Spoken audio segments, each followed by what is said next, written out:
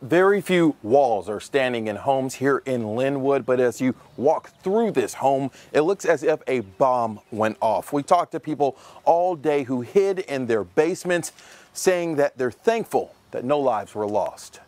Our ears popped, and it was like, boom.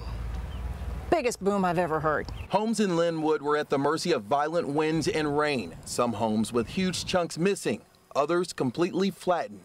I had my dog with me, and, and uh, God was with us. That's all I can say. Fran Jones and her husband hid in their basement minutes before the tornado hit.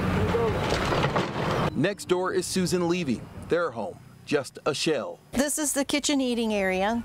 That's the master bedroom. You can see my clothes. The clothes are totally untouched. So much damage makes you wonder how no one was seriously injured. Deep down in your heart and your gut, uh, deep sadness. And then you go, I'm okay.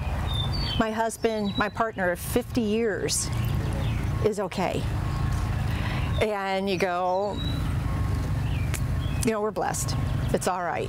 Volunteers came from near and far to help, trying to salvage what was left. Well, a lot of this stuff we didn't. The important things of life, the bell that my mother used to ring when she wanted me to come home.